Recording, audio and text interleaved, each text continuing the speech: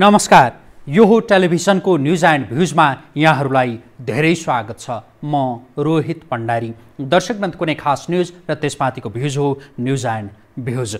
मजदुर दिवसको पूर्व सन्ध्यामा सरकारले लकडाउनबाट प्रभावित विपन्न तथा मजदुरहरूलाई काममा लगाएर राहत दिने घोषणा गरेको छ र यसलाई दोस्रो चरणको राहत प्याकेज भनिएको छ।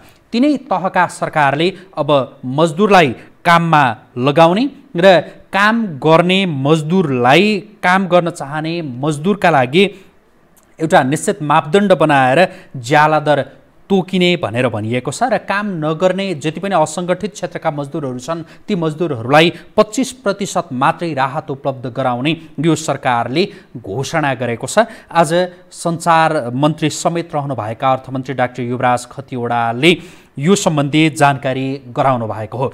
स्थानीय तह प्रदेश तह र सङ्घीय तिनै तहका सरकारले मजदुरहरूलाई काममा लगाउन सक्नेछन् सार्वजनिक काममा र त्यो काममा लगाए बापत काम गरे बापत मजदुरले ज्याला पाउनेछन् जसलाई सरकारले राहत भनेर भनेको छ र यसलाई दोस्रो चरणको राहत प्याकेज समेत भनिएको छ।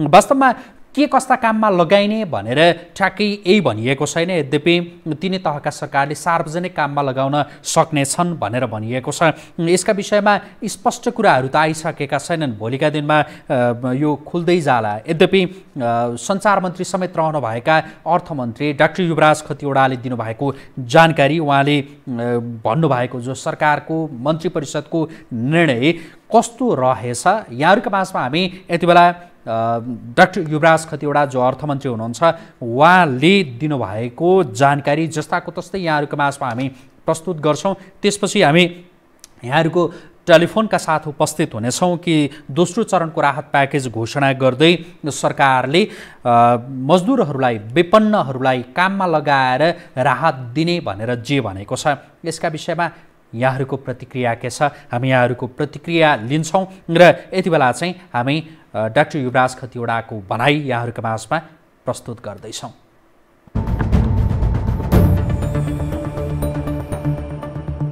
खास गरी यो राहतसँग सम्बन्धित विषयमा अलिकति थप प्रश्न पार्न चाहन्छु।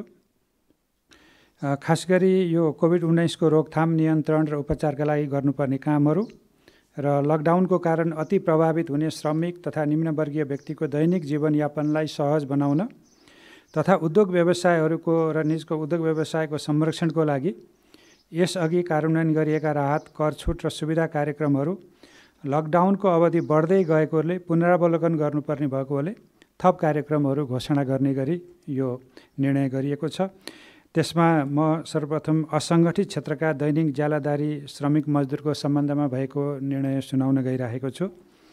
असङ्गठित क्षेत्रमा कार्यरहित कार्यरत रही हाल बेरो हाल रोजगारी वा कामविहीन भएका श्रमिकहरूलाई स्थानीय तहमा स्थानीय तह वा प्रदेश वा सङ्घीय कार्यालयबाट सम्पादन हुने सार्वजनिक निर्माणका काममा लगाउने यसरी काममा वा श्रममा लगाउँदा निजहरूलाई दैनिक ज्याला नगद वा खाद्यान्नको रूपमा उपलब्ध गराउने असङ्गठित क्षेत्रमा काम गर्ने श्रमिकलाई प्रदान गर्ने राहत मापदण्डको सीमाभित्र रही स्थानीय तहले दैनिक ज्यालाधर दर निर्धारण गर्ने काममा नआउने वा नचाहने काम गर्न नचाहने व्यक्ति राहत माग माग्न आएमा माग गर्न आएमा काममा आउने व्यक्तिले पाएको पारिश्रमिकको पच्चिस प्रतिशतले हुन आउने रकम बराबरको खाद्यान्न मात्र उपलब्ध गराउने यस सम्बन्धी विधि र प्रक्रिया तयार गरी कार्यान्वयन गर्ने र सोको लागि आवश्यक सहजीकरण र समन्वय सङ्घीय मामला तथा सामान्य प्रशासन मन्त्रालयले मिलाउने।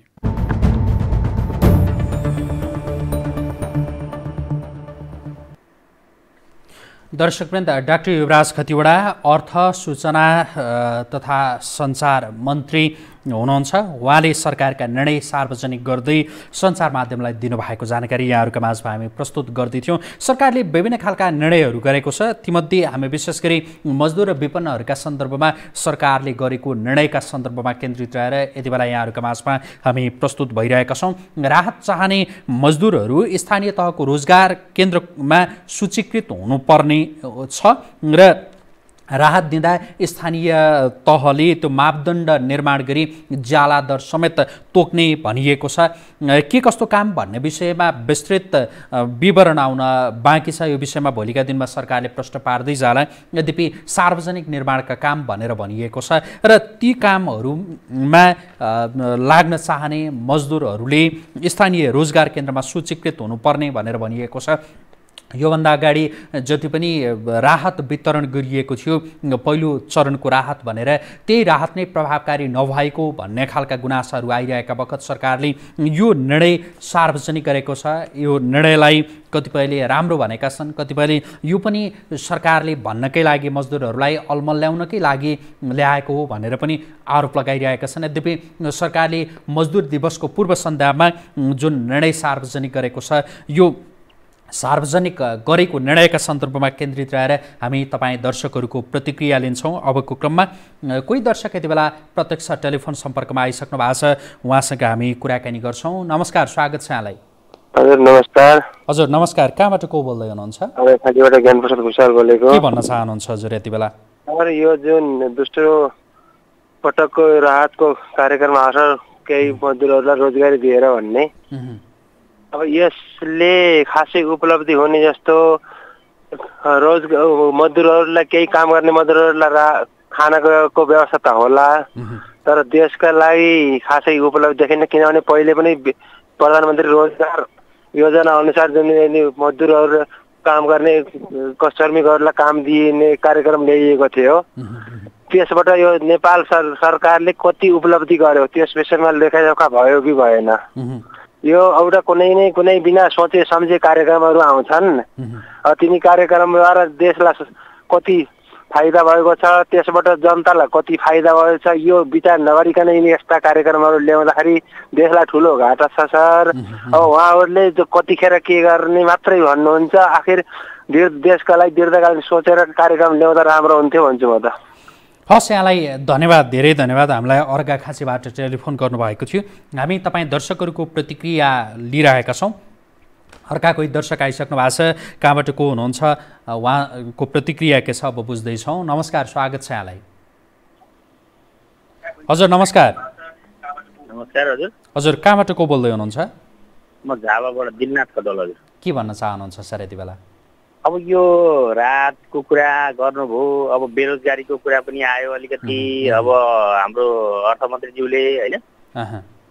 अब यो रातको विषयमा के त भन्दाखेरि रात प्याकेज कसरी सरकारले निर्धारण गर्यो भन्ने कुरालाई म यसो ख्याल गर्दैछु।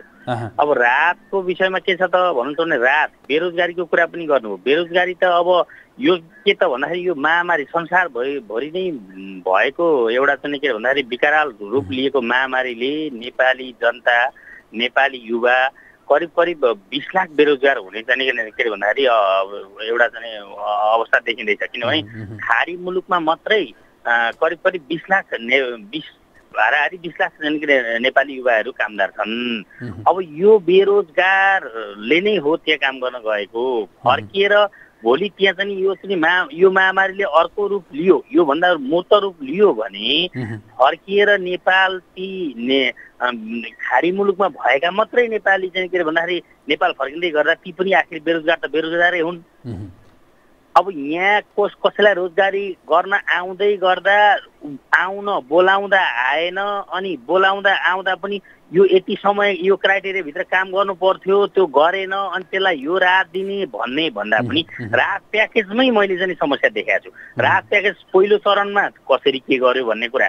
त्यो गौड छ कहाँ कहाँको कति कति कसरी बाँडे अब रात भनेर मैले चाहिँ के देख्छु भने यो संसारभरि नै एउटा चाहिँ यो महामारीले विकराल रूप लिइरहेको अवस्थामा रात भनेको के भने नितान्त मान्छे बाँच्नका निम्ति। मान्छे कसरी बाँच्ने त? यो मानव अस्तित्वलाई कसरी बचाउने भन्नेलाई। राज्यले चाहिँ के अरे हेर्ने कि एउटा कस्तो किसिमको मापदण्ड बनाएर कस्तो कस्तोको मान के अरे किसिमको मान्छेलाई चाहिँ रात बाँड्ने भन्ने कुरामै यहाँ चाहिँ माथिबाट आएको राज्यबाट आएको चाहिँ के अरे एउटा सर्कुलेसनमा गलत देखिरहेको छु मैले। अब यहाँ म तराईवासी मान्छे झापाको तराईवासी मान्छे मैले के देखाएको छु भन्नुहुन्छ भने दस कट्ठाभन्दा मुनि जमिन हुनेलाई चाहिँ के अरे भन्दाखेरि रात वितरण गर भनेर एउटा मा के अरे भन्दाखेरि एउटा क्राइटेरिया बनाएर मापदण्ड बनाएर सरकारले पठाएछ। त्यो मसँग यहीँ छ हजुरलाई पढेर सुनाउन सक्नुला लामो समय मसँग छैन त्यो नपढौँला।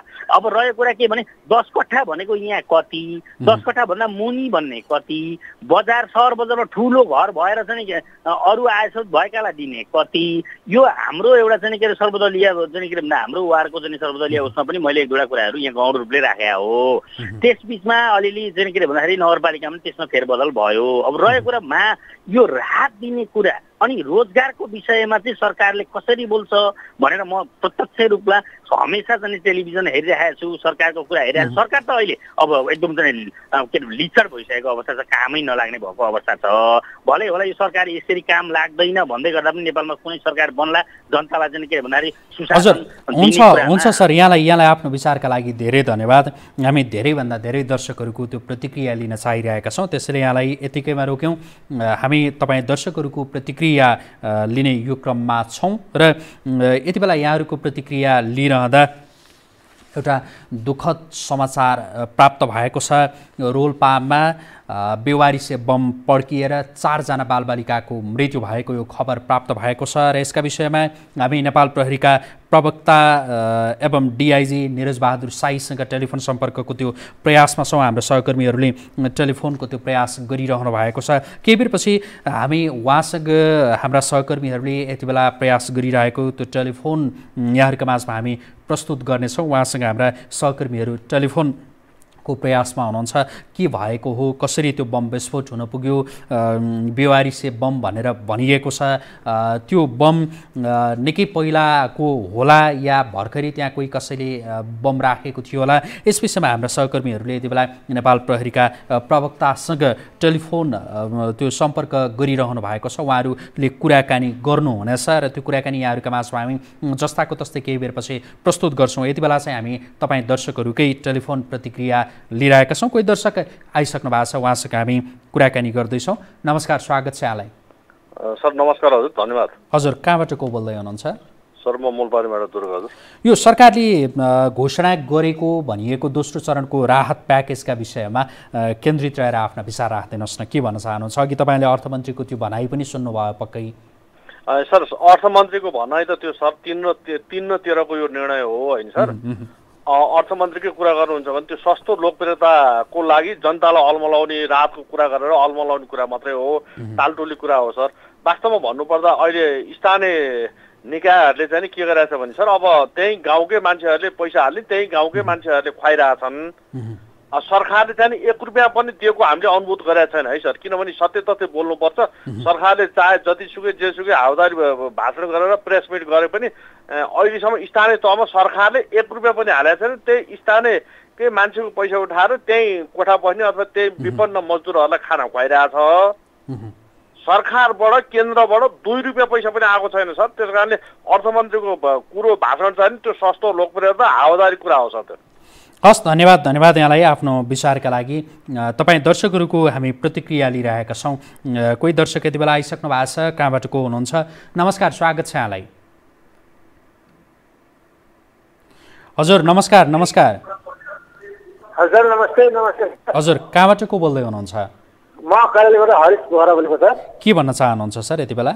म आफ्नै एउटा अहिलेको यो मजदुर सम्बन्धीको एउटा समस्या। राख्न चाहन्छु सर? हजुर हुन्छ हुन्छ। के भन्न चाहनुहुन्छ आफ्नो विचार राख्नु सर हजुर मेरो भनाइ के छ सर भनेपछि जसले अहिले अहिले अर्थमन्त्रीज्यूले चाहिँ मजदुर सम्बन्धीको कुराहरू बाहिर के अरे यो बजेटमा कुराहरू राख्नु भएको छ। तर म के भन्नु सर भने चाहिँ नेपालमा युवाहरू धेरै जस्तो बेरोजगार छन् विदेशमा छ विदेशको खाडीमा भारतको मतलब कुना कप्तरमा चौधरी गरेर आफ्नो गरिरहेका छन्। तर चुनावको बेला आउँछ चुनावको बेलामा चाहिँ आइसकेपछि उहाँलाई चाहिँ म्यादीमा राखिन्छ। म्यादीमा राखिसकेपछि उहाँले सतहत्तरका दुई हजार चौठी सालको चुनाव दुई हजार चौहत्तर सालको चुनावमा चाहिँ एउटा म्यादीमा भएर एकदम वफादारीपूर्वक चाहिँ उहाँले चाहिँ आफ्नो ड्युटी निर्वाह गरेको छ सरकारलाई चाहिँ सा सहयोग गरेको छ भने अहिले जतिका सङ्घ संस्थाहरू खुलिरहेका छन् ब्याङ्क वित्तीय सङ्घ संस्था खुलिरहेका छन् त्यो ठाउँमा आजका ती युवाहरूलाई चाहिँ त्यो ठाउँमा एउटा रोजगारको बाटो दिनुपर्ने छ। ज पुराना जो जस्तै भनौँ सा नेपाल सरकारले तपाईँ काम लगाउनुहुन्न अब तपाईँको अवस्था सिद्धियो। तपाईँ घर जानुहोस् भनेर पेन्सन दिएर जो पठाएका मान्छेलाई चाहिँ आज ठेलदार मार्फत त्यो बैङ्क वित्तीय संस्थामा चाहिँ सिक्युरिटी गार्डमा राखेर उहाँलाई चाहिँ डबल तलब दिने। जो युवा तटस्थ युवाहरू छन् जसले पढि लेखेका छन् जसले चाहिँ नेपाल सरकारको ड्युटीमा चाहिँ एउटा म्यादीमा बसेर सरकारको चाहिँ भनौँ निर्वाह गरेका छन् सरकारको सुरक्षा गरेका छन् चुनाव सम्पन्न गराएका छन् उस्ता युवाहरू आज रोडमा घुमिरहेका छन् तिनीहरूलाई तालिम दिएर एकदम सरकारले तालिमको व्यवस्था गराएर त्यस्ता बैङ्कमा एउटा बैङ्क वित्तीय संस्था कम्पनी त्यो ठाउँमा चाहिँ रोजगार गरिदिएको भए आज हाम्रा युवाहरू विदेशमा पलायन हुनेवाला थिएन। र आज ती डबल तलब खाने एउटा सरकारबाट पनि पेन्सन खाने एउटा चाहिँ बैङ्क वित्तीय संस्थाबाट पनि तलब खाने गरेर तपाईँको तिनै भनौँ राति सुतिराख्ने दिउँसो उभिन नसक्ने ड्युटी गर्नलाई चाहिँ अवस्था नभएका मान्छेलाई पनि आज के अरे भूभू सेक्युरिटी भनेर बैङ्क वित्तीय संस्थाले माग गरेको छ। त्यस्तो कुरा नहोस् अर्थमन्त्रीज्यूलाई मेरो आग्रह के छ भने यदि युवाहरूलाई तटस्थ युवाहरूलाई एकदम सशक्त युवाहरूलाई चाहिँ तालिम दिएर त्यो बैङ्कका सङ्घ संस्थामा सबै ठाउँमा चाहिँ उहाँलाई सुरक्षा गार्डको अथवा कुनै चाहिँ एउटा चाहिँ तालिम प्राप्त गराएर उहाँलाई राखेर उहाँको चाहिँ रोजीरोटीको व्यवस्था गरिदिएको भए आज हाम्रा युवाहरू विदेश पलायन हुने थिएन यही नै मेरो आग्रह छ अर्थमन्त्रीज्यूलाई। हस् हस् हस् यहाँलाई धेरै धन्यवाद आफ्नो विचारका लागि र यहाँले अर्थमन्त्रीसँग आग्रह गर्नुभएको छ। यहाँको आग्रहका लागि पनि हामी धन्यवाद भन्न चाहन्छौँ। कोही अर्का दर्शक आइसक्नु भएको छ? टेलिफोन सम्पर्कमा कहाँबाट को हुनुहुन्छ के भन्न चाहनुहुन्छ? नमस्कार स्वागत छ यहाँलाई। हजुर मेरो नाम विनोद मल्ल हो। हजुर कहाँबाट गरिरहनु भएको छ? हजुर म बानेश्वरबाट। हजुर के भन्न चाहनुहुन्छ सर यति बेला? यो उहाँ सरकारले त्यो नीति त ल्याएछ। तर यो अब देशमा विकास निर्माणको कामहरू पनि खोइ काहीँ भएको चाहिँ देखिएको छैन। उहाँहरूले काम चाहिँ कहाँ लाउने रहेछ? र मान्छेले आफूले जानेको काम पाउने हो कि के हो नीति पनि क्लियर तरिकाले आएको छैन। त्यही चाहिँ मलाई जानकारी सार्वजनिक निर्माणका काममा भनेर भनिएको छ। विस्तृत विवरण त भोलिका दिनमा सार्वजनिक होला। होइन सरकारले जे भनेको छ अलिकति अस्पष्ट भयो भन्ने यहाँको भनाइ। हजुर अनि यो एउटा उनी सर यो के अरे यो अहिले लकडाउन छ अहिले तर बाटोतिर टन्नै यो गाडीहरू देखिन्छ। लकडाउन सरकारकै मान्छेबाट उहाँहरूले कति धेरै पास दिनुभएको रहेछ? उहाँहरू आफन्तहरूलाई पास दिनुभएको छ कि? त्यो के र पनि क्लियरै गर्नुभएको छैन उहाँहरूले। हुन्छ यहाँलाई धेरै धन्यवाद। यहाँले जुन विषय उठाउनु भयो यो विषयका लागि पनि यहाँलाई धेरै धन्यवाद। अर्का कोही दर्शक आइसक्नु भएको छ कहाँबाट को हुनुहुन्छ? नमस्कार स्वागत छ यहाँलाई। हजुर नमस्कार। नमस्कार स्वागत छ यहाँलाई। हजुर नमस्कार सर। हजुर कहाँबाट को बोल्दै हुनुहुन्छ? हजुर के भन्न चाहनुहुन्छ यति बेला? जुन यो मजदुरीहरू भन्नुभयो नि सर अहिले ल्याएको हजुरको निम्ति चाहिँ। हजुर। कस्तो खालको मजदुरी हो पनि हाम्रो धनकुटा जिल्लाको यो हामी बसेको गाउँ चुम्बाङ गाउँका चाहिँ तिनजना एकदम कठिन अवस्थामा हुनुहुन्छ उहाँहरू होइन? सुन्दै हुन्छ नि सर? हजुर हजुर सुनिरहेछौँ। हजुर। मजदुरी काम गर्न जानुभएको उहाँहरू अनि हिजो अस्ति मात्रै दुइटा बस धनकुटाको लागि भनेर दुई सयजना अगाडि आइहाल्नु भएछ अनि उहाँहरू चाहिँ आउँदा आउँदै गाडी बन्द भएको हुनाले एकजना दिदीको घरतिर फर्किनु भएछ। एकजना तामाङ चाहिँ भाइ चाहिँ उहाँ चाहिँ सिन्धुपाल्चोको काम गर्दा गर्दा घर जानु भने हिँडेर आउनुभएको गाडी बन्द भएकोले गर्दा। फर्केर साथीकोमा जानुभएको र खानाको लागि कठिन भएर उसको श्रीमतीले मलाई रुँदै फोन गर्दै हुनुहुन्थ्यो यहाँ एकजना भाइको साथ लाएर गएको भाइ उहाँले चाहिँ दिदीको घरतिर गएछन् राति। हाम्रो चाहिँ विपत्ता हुनुभएछ र साथीसँग पाँच बजे भात मागेर खानुपर्छ अरे।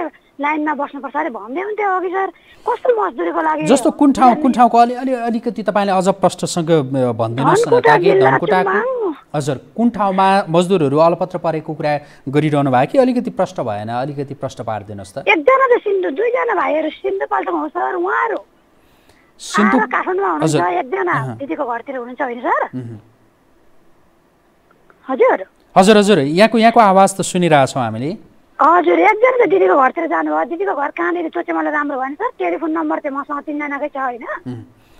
यो विषयमा यो विषयमा अझ प्रष्ट भएन। हामी यहाँसँग अफियर कुराकानी गर्छौँ। त्यति बेला भनिदिनु होला। यहाँलाई धेरै धन्यवाद। अहिले चाहिँ आफ्नो जुन भनाइ त्यहाँको समस्याका विषयमा यहाँले राख्नुभयो। अझ प्रष्ट चाहिँ हुन सकिएन। दर्शकवृन्द एउटा दुःखद खबर रोल्पामा बम पड्किएर चारजना बालबालिकाको मृत्यु भएको खबर छ। यो विषयमा हामीले नेपाल प्रहरीका प्रवक्तासँग कुराकानी गरेका छौँ। हाम्रा सहकर्मीहरूले कुराकानी गर्नुभएको छ। त्यहाँ कसरी बम पड्कियो के भयो र त्यहाँको पछिल्लो अवस्था के हो यो विषयमा थप जानकारी दिनका लागि हामीले नेपाल प्रहरीका प्रवक्तासँग भर्खरै मात्र गरेको कुराकानी अब यहाँहरूका माझमा प्रस्तुत गर्दैछौँ। त्यसपछि पुनः यहाँहरूको टेलिफोनका साथ हामी उपस्थित हुनेछौँ।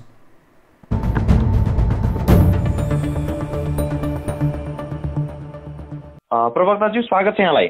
हजुर नमस्कार। रोल्पामा जुन घटना घटेको छ यो कस्तो खालको घटना हो? चारजना बालबालिकाको मृत्यु भयो बम विस्फोटबाट। हजुर। यो चाहिँ अब त्यहाँ देवाली अवस्थामा रहेको पहिला टु मोटर देखिने बम भन्छ।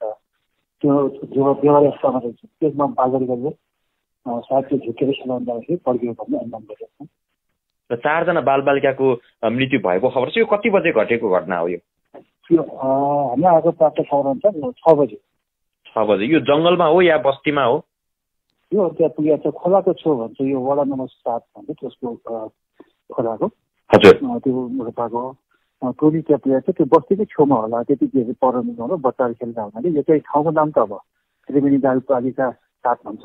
हजुर। मैनाकाटीमा भन्ने। त्यति धेरै परेन होला। यो बच्चाहरू गएर खेलाएको भन्ने पहिलो अब पुष्टि अपुष्ट आएको छ।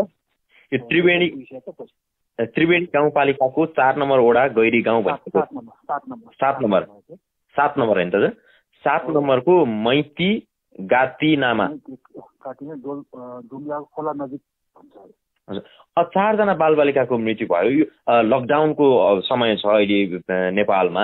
यो अवस्थामा उनीहरू खेल्न धेरै टाढा त पक्कै गएको होइन होला घर वरिपरिको हजुर। छैन तर नजिकै होला। अब यसको थप अनुसन्धानको लागि। हजुर बच्चाहरू अब अवस्थामा रहेका ट्विन्स मोटर जस्तो देखिने। खेलाउँदाखेरि पड्केको भन्ने छ। के जस्तो देखियो भन्नुभयो फेरि भन्नु होला? ट्विन्स मोटर भन्छ। यो हाम्रो एउटा एक्सप्लोसिभको प्रकार हो। त्यो पर खेलाउन त्यसको नजिक जाँदा खेलाउन पड्केको भन्ने आज टोली भर्खर पुगेको छ।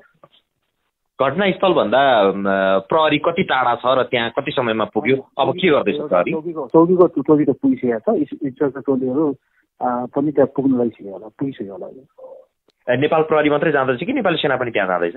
अहिलेसम्म हामीलाई त अब यो हाम्रो मात्र आउने भयो। नेपाल प्रहरी पुगेको छ। चारजना बालबालिकाको मृत्यु भयो घाइतेको पनि त्यस्तो केही सङ्ख्या छ? छैन अहिले चारजना मात्रै आएको छ। यसबारे यो बाहेक अरू थप जानकारी केही? अहिले आएको छैन त्यही कोभिड पुगेको छ त्यो चारजनाको मृत्यु भएको आएको छ। अरू खास मृत्यु भएको छैन। अब त्यहाँ कोभिड भएपछि भोलिसम्म सबै क्लियर हुन्छ। हस् धेरै धेरै धन्यवाद। हस् नमस्कार।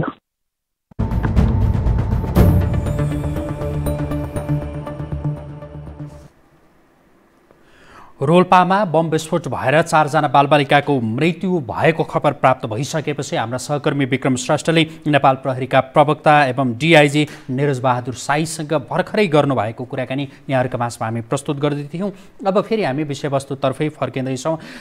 सरकारले आज मात्रै दोस्रो चरणको राहत प्याकेज घोषणा गरेको छ। लकडाउनबाट प्रभावित विपन्न तथा मजदुरहरूलाई काममा लगाएर राहत दिने भनेको छ र त्यसका लागि तिनै तहका सरकारले मजदुरहरूलाई काममा सार्वजनिक निर्माणका काममा लगाउन सक्ने छन् भनेर भनिएको छ र काम नगर्ने मजदुरले पच्चिस प्रतिशत पाउने र काम गर्नेहरूले शत प्रतिशत पाउने भनिएको छ र त्यो शत प्रतिशत भनेको चाहिँ कति हो भनेर यसका विषयमा खास यति बेला निर्क्युल गरिसकेको अवस्था छैन। राहत दिँदा मापदण्ड निर्माण गरिने र ज्याला दर तोकिने र त्यसरी तोकिएको ज्याला दर त्यो नगदमा पनि हुन सक्ने र खाद्यान्नको रूपमा पनि त्यो वितरण गर्न सकिने भनेर भनिएको छ। तपाईँलाई सरकारले जुन आज गरेको निर्णयका सन्दर्भमा भन्नु के छ हामी यसमा केन्द्रित रहेर आजको कार्यक्रममा यहाँहरूका माझमा हामी प्रस्तुत भइरहेका छौँ। कोही दर्शक आइसक्नु भएको छ उहाँ के भन्न चाहनुहुन्छ कहाँबाट हुनुहुन्छ? नमस्कार स्वागत छ यहाँलाई। हजुर नमस्कार। हजुर नमस्कार। हजुर कहाँबाट को बोल्दै हुनुहुन्छ? म काठमाडौँ नवीन भट्टराई। हजुर के भन्न चाहनुहुन्छ सर? हजुर हजुर हजुर के भन्न चाहनुहुन्छ? हजुर असम लास्ट पर्नु भयो के आएको नि एउटा सरकार दुईवटा अर्थमन्त्री हुनुभयो। यहाँ कुरो अलिकि नौले जस्तो लाएर मात्रै मैले प्रश्न गर्न लागेको अर्थमन्त्रीलाई। हजुर। अर्थमन्त्रीले अब तिनवटा अर्थमन्त्री चार अर्थमन्त्री गरेको लास्ट पर्नु भयो भनेर सुन्न आँटेको। एउटा सरकार दुईवटा अर्थमन्त्री भइसक्नु भयो। हजुर। तपाईँ नरोकिकन आफ्नो विचार राख्नुहोस् न तपाईँले विचार नि त मलाई त्यहाँ मात्रै अर्थनगर बन्ने नि त नि। हुन्छ यहाँले यहाँले भन्न खोज्नु भएको कुरा पनि त्यति राम्रोसँग सुनेनौँ हामीले। यहाँलाई धेरै धन्यवाद। कहाँबाट जहाँबाट टेलिफोन गर्नुभएको थियो यहाँलाई काठमाडौँबाट भन्दै हुनुहुन्थ्यो। धेरै धन्यवाद। हामी तपाईँ दर्शकहरूको प्रतिक्रिया लिइरहेका छौँ कि तपाईँ दर्शकहरूलाई आज हामीले जुन विषय यति बेला प्रस्तुत गरिरहेका छौँ सरकारले घोषणा गरेको भनिएको दोस्रो चरणको राहत प्याकेजका सन्दर्भमा तपाईँको प्रतिक्रिया के छ? हामी यसैमा केन्द्रित छौँ र हामीले केही हाइलाइट्सहरू यति बेला टेलिभिजनको स्क्रिनमा पनि यहाँहरूका माझमा प्रस्तुत गरिरहेका छौँ। टेलिभिजनको स्क्रिनमा प्रस्तुत गरिरहेका हाइलाइट्सहरू हेरेर पनि यहाँहरूले आफ्ना प्रतिक्रियाहरू आफ्ना मतहरू व्यक्त गर्न सक्नुहुन्छ। कोही दर्शक आइसक्नु भएको छ? नमस्कार स्वागत छ यहाँलाई। हेलो नमस्कार हजुर। हजुर कहाँबाट को बोल्दै हुनुहुन्छ? म पर्सा छोरीबाट बलबहादुर थापा। हजुर के भन्न चाहनुहुन्छ सर यति बेला? यो चाहिँ यस्तो मैले भन्न खोजेँ साँडे जुदाई बाछाको मिठाई खोइ लाल पूजा खोइ बाटो खोइ सिकाइ बुझ्नुभयो नि? हजुर हजुर। साँडे जुदाई बाछाको मिठाई खोइ लाल पूजा खोइ बाटो खोइ सिकाइ जनतालाई अहिले रोगले भन्दा पनि भोगले मर्न आँटेका छन्। है अब रोजगार भन्नु छ नि रोजगार त सरकारले अहिले यतिखेर सिर्जना गर्ने होइन नि। पहिल्यै बाटो बनाउनु मिलाउनु पर्ने होइन अहिले मर्न आँटेको उसलाई चाहिँ के भनेर यो चाहिँ अलिक ठिक भएन। तर कति कुरा त अहिले गर्न आँटेको कुरा स्वागत योग्य पनि छ होइन। तर उहाँले चाहिँ गर्नुभएको र सरकारले गर्न भएको तर रोजगार भनेर एउटा सीमित तोकिदिनु पर्थ्यो यो यो काम भनेर तोकेर एकैचोटि ब्रिफिङ गरिदिनु भएको भए जस्तो कि नेपालमा अहिले जम्मै विकासको पूर्वाधारहरू ठप्प भएर बसेका छन् होइन? नेपाल सरकारले होइन? यो यति जनता यो योग्य जनता यो बाटोमा यति जन योग्य जनता यो हाइड्रो पावरमा यति योग्यको जनता यो पुलमा यति योग्यको जनता यो ठाउँमा यस्तो यस्तो सीमित तोकेर वर्ग तोकेर सबै मिलाएर अनि दिनुपर्छ होइन अब कतिले काम गर्दैन अनि त्यो काम नगरिकन पच्चिस पर्सेन्ट काटेर दिनु भन्नुभएको छ त्यो चाहिँ राम्रो कुरा हो। कतिले काम नगरिकन बसेर पनि त्यो भोकमारी भएका छन् कति काम गरेर पनि नपुगेर भोकमारी भएका छन् त्यो चाहिँ विस्तृत जानकारी स्थानीय सरकारलाई समन्वयमा गर्नुभयो भने त्यो धेरै राम्रो हुन्छ। तर वास्तवमा अब यी कुराहरू हामीले भन्नुभन्दा पनि सरकारको हाम पढे लेखा बुद्धिजीवी विद्वानहरू सरकार हुनुहुन्छ। उहाँहरूले आफैले गर्दा राम्रो हुन्थ्यो होइन? अब के भन्दा पारदर्शी भएको छैन पाउनु पर्नेले पाएको छैन है? अब सबैभन्दा अहिले जहाँ पनि हजुरहरूको हाम मैले जति पनि न्युज हेरिरहेको हुन्छु चौबिसै घन्टामा चौबिसै घन्टा त हेर्न जाउँदैन तैपनि बिच बिचमा हेर्दाखेरि कति खान नपाएर रो रोइरहेको हुन्छन् कति भोकै भइरहेको हुन्छन् गाडी छैन बाटो छैन घोडा छैन रोजगार छैन।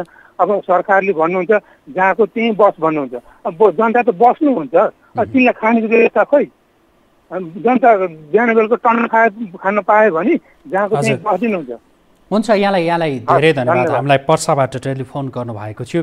हामीलाई विभिन्न जिल्लाबाट दर्शकहरूले टेलिफोन गरिरहनु भएको छ र आफ्ना विचारहरू राखिरहनु भएको छ। कोही दर्शक आइसक्नु भएको छ? प्रत्यक्ष टेलिफोन सम्पर्कमा कहाँबाट को हुनुहुन्छ? नमस्कार स्वागत छ यहाँलाई। नमस्कार सर। हजुर कहाँबाट को बोल्दै हुनुहुन्छ? म गोविन्द लामा गुरुङ। हजुर के भन्न चाहनुहुन्छ सर यति बेला? तर उहाँसँगको सम्पर्क विच्छेद भएको छ। तपाईँ दर्शकहरूले गरिरहनु भएको टेलिफोन हामी यति बेला लिइरहेका छौँ र तपाईँहरूको प्रतिक्रिया हामी त्यो लिइरहँदा कतिपय दर्शकहरूको टेलिफोन विषयमा त्यो सम्पर्क पनि विच्छेद भए भएका छन्। फेरि त्यो प्रयास गर्नका लागि पनि हाम्रो आग्रह छ। कोही दर्शक आइसक्नु भएको छ? नमस्कार स्वागत छ यहाँलाई। नमस्ते। हजुर कहाँबाट को बोल्दै हुनुहुन्छ? के भन्न चाहनुहुन्छ सर यति बेला? यो जनभावनाको खिल्ली उडाउने जनतालाई चाहिँ बेवकुफ बनाउने यो के के के के के यो मती नै खोइ के भएको के भएको सरकारको है? राहत र सुविधा भन्ने कुरामा चाहिँ अब त्यही भारतमा त्यही बिहारमा त्यही युपीमा त्यही दिल्लीमा हामी दिनरात समाचार हेर्छौँ। तपाईँलाई विभिन्न मुलुकहरूका समाचारहरू हेर्छौँ होइन? समस्यामा त सबै परेको छ नि त। आज अब महिना दिन कट्यो अब आज कति अडतिसौँ दिन भइसक्यो लकडाउन अहिले यो काममा स्वरोजगार भएका नभएका भनेर छुट्याउने होइन कि जो जसलाई अत्यावश्यक छ। तीमा ती मान्छेलाई लकडाउनको अवधिभर आवश्यकता अनुसार राहत उपलब्ध गराउने। अनि खुलिसकेपछि के के गर्नु छ नाटक मञ्चन गर्नु चाहिँ ठिक हुन्छ। अब घर भाडाको बारेमा पनि त्यस्तै नाटक अहिले त के भन्न आँट्यो भने कोही रोजगारै छ भने पनि अहिले तिर्न सकेन भने पछि जहिले अब कमाएर तिर्न सक्छ त्यति बेलासम्म चाहिँ भाडा माग्न नपाउने घरबेटीले अनि काम नभएका मान्छेलाई चाहिँ नलिने के के स्थानीयले चाहिँ अनुगमन गर्ने। ए बाबा यी सबै कुराका लागि यत्रो समयसम्म बारम्बार अब जनस्तरबाट त कुरा उठायो स्थानीय तह र सामुदायिक प्रहरी मिलेर घर घरै चाहिँ तथ्याङ्क सङ्कलन गर्ने। कसको चाहिँ अब खाद्यान्नको अभाव छ कसलाई के कुराको समस्या परेको छ। समस्यामा अहिले घर भएका मान्छे पनि परेका छन्। हिजो राम्रो आम्दानी गरेर व्यापार व्यवसाय गरेर राम्रो कमाउने मान्छेहरू पनि अब पर्दै गएका छन्। हरेक सामान बिसको पचास पुगेको छ सामान हेर्नुहोस् होइन। त्यो भएको पैसाले पनि नभ्याउने अवस्था छ। त्यसैले गर्दाखेरि त यो सरकारले यो पैसा यत्र पैसा अरबौँ अरब विदेशबाट दिइरहेको छ अन्य स्रोतबाट पनि सङ्कलन भइरहेको छ।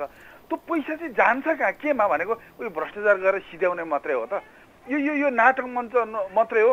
कसरी पुष्टि हुन्छ? अब हेर्नुहोस् हिजो नायरता देऊ घरबेटीको सिफारिसले होइन भने दिन्न भन्ने वडा अध्यक्षले। अब चाहिँ के आधारमा जन दिन्छ? अब त सबै हात खडा गर्छन् किनभने त्यो त सरकारी बगैँचा सर रहने भनेको छ।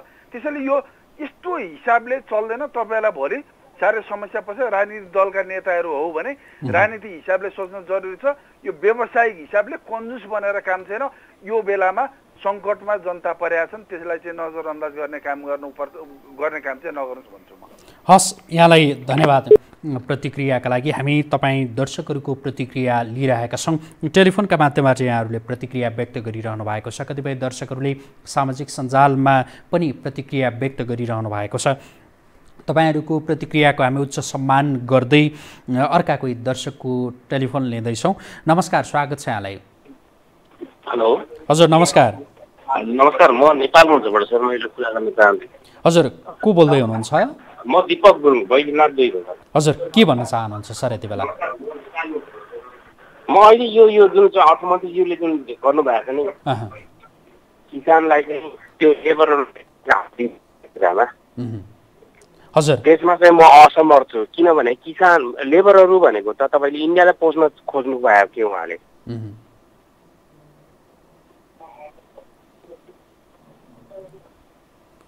हजुर सर तपाईँ आफ्नो विचार नरोकिकन राखिदिनुहोस् न है तपाईँ बिचमा होइन मलाई मलाई के भने जब कि चाहिँ नेपालमा कृषिमा चाहिँ आत्मनिर्भर हुनुपर्छ भन्ने कुरा छ भने उहाँले चाहिँ लेबरलाई ठिक छ लेबरलाई मैले एउटा कुरा साउदी गइरहेछन् कतार गइरहेछन् उहाँहरू आउनुभयो भने उहाँहरूलाई कृषिबाट दिन चाहिँ स्वाभाविक होला। तर तर अब अहिले चाहिँ उहाँहरूले चाहिँ को लेबर कसले लेबर गर्छ कसले उहाँले क्याटेगोरी छुट्याउनु भएको छ। पहिला कुरा त अर्थमन्त्रीलाई थाहा छ कि छैन उहाँलाई। प्लम्बरको इलेक्ट्रिसियनको उहाँलाई कसरी तालिम दिएर गर्नुपर्छ भन्ने हिजो अस्ति मात्र मैले चाहिँ उसमा समाचारमा मैले के सुने इन्डियामा नेपालको सबै पैसा इन्डियामा गयो किन भयो हाम्रो नेपाल सरकारको कमजोरीले गयो किन गयो भनेपछि हामीले कमसेकम लेबर उसलाई प्लम्बरलाई प्लम्बर बनाउने हाम्रो तालिम छैन। इलेक्ट्रिसियनलाई इलेक्ट्रिसियन बनाउने तालिम छैन। होइन? भनेपछि हामीसँग त्यो छँदै छैन क्या। उहाँहरूले के गर्नुहुन्छ भने ठ्याक्कै विपक्ष छ गभर्मेन्टले के गर्छ भने उल्टो गर्छ क्या। हामी चाहिँ कुन हिसाबमा जाने हो? पहिलो कुरा त्यो चेतातिर जानु पर्यो जस्तै हामी चाहिँ अहिले त कस्तो छौँ भने कृषिबाट माग जब एउटा टमाटर एउटा कुखुरा एउटा चाहिँ अन्डा एउटा एउटा खसी हामीले उत्पादन गर्न सक्दैनौँ भने कि अब अहिले लेबरलाई दिएर के त्यो पैसा त्यतिकै फाल्ने? हुन्छ यहाँलाई यहाँलाई धन्यवाद धन्यवाद सर। हामीलाई नेपालगञ्जबाट टेलिफोन गर्नुभएको थियो। तपाईँ दर्शकहरूलाई हामी आग्रह गर्छौँ आज हामीले जुन विषयमा केन्द्रित रहेर कुराकानी गरिरहेका छौँ गर्न चाहिरहेका छौँ यसमा केन्द्रित रहेर आफ्ना प्रतिक्रियाहरू आफ्ना विचारहरू राखिदिनु होला। हाम्रो आग्रह छ तपाईँहरूले त्यही गरिरहनु भएको छ र कतिपय दर्शकहरू अलिकति अलमलताको त्यो अवस्थामा पनि देखिनु भएको छ। यद्यपि अलमलमा नपर्नुहोस् हामीले टेलिभिजनको स्क्रिनमा के हाइलाइट्सहरू प्रस्तुत गरिरहेका छौँ। त्यसलाई हेरेर पनि आजको विषय तपाईँले पहिले आउन सक्नुहुन्छ। अर्का कोही दर्शक आइसक्नु भएको छ। नमस्कार स्वागत छ यहाँलाई। नमस्कार हजुर म हाडी गाउँदेखि अनिल चेतानी बोल्दैछु। हजुर के भन्न चाहनुहुन्छ सर? अहिले सबभन्दा पहिला त चारजना बच्चाको जुन दुःखद निधन भयो त्यसको उहाँको परिवारहरूलाई म सान्त्वना दिन चाहन्छु र संवेदना प्रकट गर्न चाहन्छु। र यो मन्त्रीले के भन्छ कसो भन्छ अब राहत बाँड्यो भन्छ अस्सी करोडको राहत बाँडिसक्यो तिन करोड जनतालाई अस्सी करोडको पनि बाँड्यो भने छब्बिस लाख चान्चुन हुन आउँछ। त्यो कहाँ गयो त नि? अब भने टाइममा केही पाउँदैन। अब नाइ त अब कुनै जस्तै नेपालका साथीहरू दाजुभाइहरू इन्डियामा काम गरिरहेका छन्। उनीहरूको नाइता छैन तर उनीहरू राहत पनि पाइरहेका छन् उनीहरूलाई अहिले काठमाडौँ नेपालमा ल्याउने व्यवस्था पनि भइरहेको छ। त्यसको लागि हामी इन्डियालाई स्वागतै दिन स्वागत मान्नुपर्छ र नेपालमा भएको बेला पनि मारवाडी सेवा समितिले पनि अस्ति कति दुई सयजना जति बिना नेपालीहरू मतलब भारतबाट आएकाहरू मजदुरीमा बसेकोहरूलाई पनि सहयोग गरेको छ त्यस्तै गरेर सहयोग भने त भइहाल्छ नि। घरपेटीले सिफारिस गरिदिहाल्छ हो मेरो घरमा बसेको छ भनेर त्यसो गऱ्यो भने त हुन्छ नि। हरेक मान्छे हरेक घर घरमा गएर सोध्यो भने त के बिग्रिन्छ र? म म मैले दुई साग खाना पाइरहेको छ मलाई प्रब्लम छैन। तर अरू त धेरै दुःख पाइरहेको छ नि। जो बिहान मजदुरी गरेर ज्याला गरेर खाने व्यक्तिहरू हुन्छ तिनीहरूलाई त धेरै गाह्रो छ। त्यसलाई सहयोग गर्नु पऱ्यो। घर घरमा गएर वडा वडाको मान्छेहरूलाई खटाउनु पऱ्यो। हस् त धन्यवाद हजुर। हस् धन्यवाद। हामी हाम्रा दर्शकहरूको प्रतिक्रिया लिइरहेका छौँ। कोही अर्का दर्शक आइसक्नु भएको छ टेलिफोन सम्पर्कमा? उहाँ कहाँबाट को हुनुहुन्छ के भन्न चाहनुहुन्छ? नमस्कार स्वागत छ यहाँलाई। हजुर नमस्कार। सर नमस्ते। हजुर कहाँबाट को बोल्दै हुनुहुन्छ? हजुर यहाँको शुभ नाम? कुमारी लामा गुरुङ। हजुर के भन्न चाहनुहुन्छ यति बेला? यो रातको वितरण भन्छन् सर कस्तो के हो कस्ता मान्छेले हो रात पाउने? तपाईँको जिज्ञासा। सरकारले भनेअनुसार विपन्न मजदुर होइन जो जसको यति बेला खानका लागि जसलाई समस्या परिरहेछ उनीहरूका लागि भनेर सरकारले भनेको छ। तपाईँ तपाईँहरूको क्षेत्रमा चाहिँ त्यो ठाउँमा चाहिँ राहत तपाईँहरूले पाउनु भएको छ कि छैन? मैले यो पनि सोधेँ यहाँसँग। नै सर म भन्न खोजेको होइन तर गरिब जनताले प्योर गरिबहरूले मात्रै पाउन् राहत भन्न खोजेको सर मैले मैले त्यही सोधिरहेको छु तपाईँहरूको क्षेत्रमा चाहिँ त्यो राहत वितरण भएको छ कि छैन भनेर? भइसक्यो सर राहत वितरण। त्यहाँ त्यस्तो कुनै समस्या देखियो ताकि कतिपयले हामीले पाएनौँ यो ठिक भएन भन्ने खालका त्यस्ता आवाजहरू सुनिए? सुनिए सर धेरैको सुन्यो मुखबाट हामीले पाएनौँ राहत पाउने मान्छेले राहत पाएनौँ अनि राहत नपाउनेले राहत पाइरहन् भन्ने। आवाज आइरहेको थियो सर। कुन ढङ्गबाट राहत वितरण भइदियोस् भन्ने तपाईँको चाहना? अलिकति भनिदिनुहोस् न तपाईँले आज जस्तो सरकारले दोस्रो चरणको राहत प्याकेज घोषणा गर्यो भन्ने यो समाचार पनि तपाईँले सुन्नुभयो होला हेर्नुभयो होला त्यही हेरेर नै हामीलाई यति बेला टेलिफोन गर्नुभयो होला यहाँले। हजुर सर मैले त राहत वितरण कस्तो घर जग्गा नभएकाले कोठावाडामा बस्नेले गरिब अब बिहान के खाम बेलुका के खाम भन्नेले हस् हस् यहाँलाई यहाँलाई धेरै धन्यवाद धेरै धन्यवाद। हामीलाई टेलिफोन गरिदिनु भयो अर्का कोही दर्शक आइसक्नु भएको छ प्रत्यक्ष टेलिफोन सम्पर्कमा कहाँबाट को हुनुहुन्छ? नमस्कार स्वागत छ यहाँलाई। हेलो। हजुर नमस्कार नमस्कार। नमस्कार म वनस्पति मित्रबहादुर बस्नेत हो। हजुर के भन्न चाहनुहुन्छ सर यति बेला? अहिले तपाईँको चाहिँ पश्चिमको चाहिँ अब रुकुममा चाहिँ अब आज त्यहाँ घटना घट्यो। अब चारजना बच्चाहरू अब त्यो कहिले चाहिँ कसले राख्यो के भयो? अब सरकार त्यहाँको सरकारहरू कहाँ छ के छ? यो छानबिन हुनु पर्यो नेपाली जनताहरू यसरी जहाँसुकै चाहिँ मरिराखेका छन् कोही खाना नपाउने कोही चाहिँ बलात्कार हुने कोही चाहिँ अपहरण हुने यस्तो भइराखेको छ। नेपालमा सरकार त छ तर सरकारले जनतालाई दिनुपर्ने चाहिँ शान्ति सुरक्षा त्यो देख्न पाइँदैन। यसको लागि चाहिँ सरकारले सिरियसली किन लिँदैन? यो लियोस् भनेर यो छानबिन राम्रो सत्य तथ्य आओस् ढाकछोप नगरोस् भन्न चाहन्छु। धन्यवाद। हस् धन्यवाद। उहाँले आज मात्रै रोल्पामा घटेको एउटा दुर्घटना त्यहाँ बम पड्किएर चारजना बालबालिकाको मृत्यु भएको छ। यसका सन्दर्भमा केन्द्रित रहेर भन्दै हुनुहुन्थ्यो कि निष्पक्ष छानबिन होस् भनेर। हामी यहाँहरूको टेलिफोन लिइरहेका छौँ। विशेष गरी आज हामीले प्रस्तुत गरिरहेको विषयका सन्दर्भमा केन्द्रित रहेर आफ्ना भनाइ राख्नका लागि हामीले आग्रह गरिरहेका छौँ। कोही दर्शक यति बेला आइसक्नु भएको छ। नमस्कार स्वागत छ यहाँलाई। नमस्कार भण्डारीज्यू म गङ्गा प्रसाद शरण नेपाली नयाँ हजुर के भन्न चाहनुहुन्छ यति बेला? अब आजको विषयमा भन्नुपर्दा वास्तवमा हरेक कुरा जति पनि निर्णय गरिन्छ हचुवा हचपचको भरमा र दियो नहुने कसैले विश्वास नगर्ने काम हुन्छ यहाँ। विरोध विरोधको लागि बेरोज गरी नठानियोस्। हिजो प्रधानमन्त्री रोजगार कार्यक्रम जस्तै झार टिपेर केही झाडु बडाहरू लगाएर कैयौँ लाखहरू खर्च गरियो अरबहरू खर्च गरियो। त्यसरी आज पनि अब संसार लकडाउनले अक्रान्त छ उद्योग व्यापार धन्दाहरू सबै ठप्प छ। र भएका उद्योग पनि उहाँले सबै नष्ट गरिसक्नु भएको छ। यो अवस्थामा रोजगार दिने जुन नागरिकसँग कर उठाएर रोजगार दिने अथवा ऋण कहीँ लिएर रोजगार दिने भनेको चाहिँ यो हाँसास्पद कुरा हो। त्यसैले गर्दा रोजगार दिनुको लागि त उद्योग धन्दाहरू फस्टाउनु पर्यो कामहरू हुनु पर्यो। सबै आयोजनाहरू सञ्चालन सबै यथोचित रूपमा सञ्चालन हुनु पर्यो। अनि त्यसपछि त्यो मार्फत काम दिनु दिगो हुन्छ। र सरकारले केही ठान आफ्ना कार्यकर्तालाई खालि त्यो निर्वाचन नभएसम्मको लागि पाल्नको लागि यो दिने यस किसिमको निर्णयले चाहिँ देशलाई भलो पनि गर्दैन नागरिकले पाउँदैनन् र एक डेढ महिना अथवा पन्ध्र दिनको केही पैसा दिएर नागरिकको चुलो पनि चल्दैन। त्यसले नीति निर्माणता निर्माताहरूले यस विषयमा रिभ्यू गरोस् र नागरिकले सबै नागरिकले पत्याउने देशले धान्न सक्ने निर्णय गरोस्। यही मेरो आग्रह छ। नमस्कार धन्यवाद। हस् हस्। धन्यवाद यहाँलाई। हामीलाई काठमाडौँको बानेश्वरबाट टेलिफोन गर्नुभएको थियो। हामी तपाईँ दर्शकहरूको प्रतिक्रिया लिइरहेका छौँ। हामीलाई सामाजिक सञ्जालमा पनि धेरै दर्शकहरूले प्रतिक्रिया व्यक्त गरिरहनु भएको छ।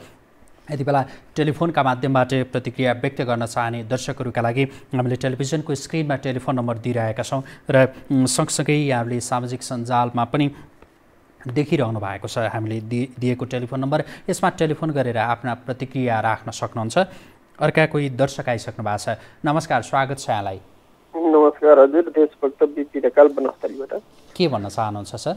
पहिला त तपाईँलाई आज धन्यवाद दिन्छु। तपाईँको टेलिफोन अलिकति माथि राखिदिनु भएछ प्रष्ट रूपमा देखिया छ। हिजो अस्ति अलि तल हुन्थ्यो स्काइबा ठाउँमा है त्यसको लागि धन्यवाद भन्दै विषयवस्तुमा जान्छु जुन तरिकाको यो सरकारको दोस्रो चरणको राहत प्याकेज छ मेरो तर्फबाट भन्ने स्वागत योग्य नै छ।